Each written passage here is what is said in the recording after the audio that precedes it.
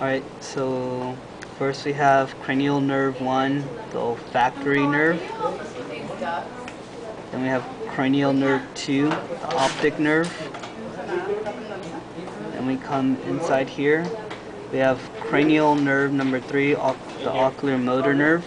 It's right next to the pineal gland, which is the ball structure right here. And that would be the oculomotor nerve.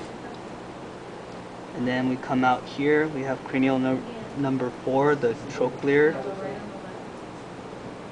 And then right here we have cranial nerve number 5, the trigeminal. Trigeminal? Okay, yeah.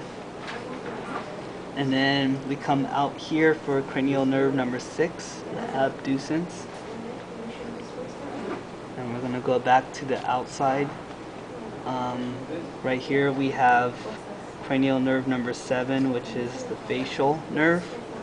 And then right above that is cranial nerve number 8, which is the vestibulocochlear nerve.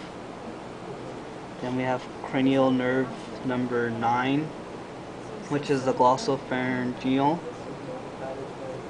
Then cranial nerve number 10, the vagus nerve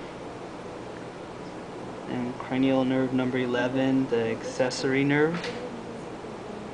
And then cranial nerve number 12, the hypoglossal nerve.